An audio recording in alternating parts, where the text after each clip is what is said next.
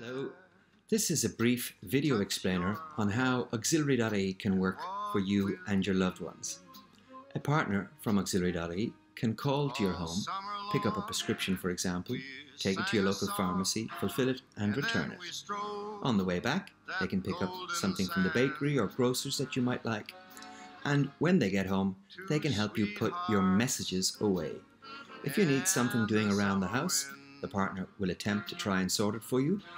If it's more complex or requires a professional tradesperson to come and have a look at, the partner will arrange a quotation for you to get it sorted.